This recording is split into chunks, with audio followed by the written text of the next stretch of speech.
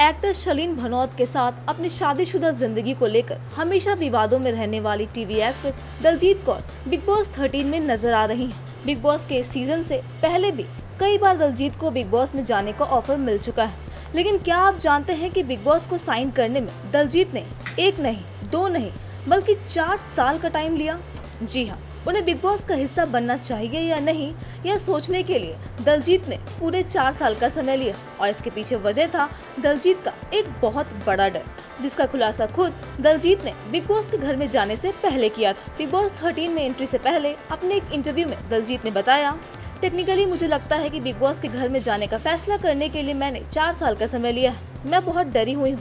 यह डर था मेरे बेटे जेडन से दूर रहने का। ये मेरे लिए सबसे बड़ा चैलेंज होगा।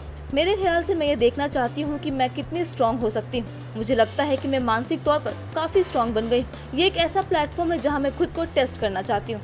दलजीत ने आगे कहा, मैं बिग बॉस में जाने से पहले इसलिए भी बहुत ज़्यादा डरी हुई हूँ क्योंकि मैं कभी भी दो या तीन दिन से ज़्यादा अपने बेटे से दूर नहीं रही हूँ। ये पहली बार है कि मैं इतने लंबे समय के लिए अपने बेटे से दूर जा रही हूँ। मुझे लगता है कि बिग बॉस का यही सबसे बड़ा चैलेंज है मेरे लिए।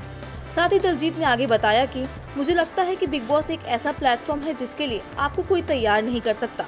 मैंने सुना है कि लोग प्लान करके घर के अंदर जाते हैं, लेकिन मुझे समझ नहीं आता आप इसके लिए खुद को पहले से कैसे तैयार कर सकते हैं, जहाँ आपके साथ दूसरे लोग रह रहे हो। मैं जो हूँ, बस वही रहना चाहती हूँ। मैं ऐसी सिचुएशन में खुद को एक्सप्लोर करना चाहती हूँ।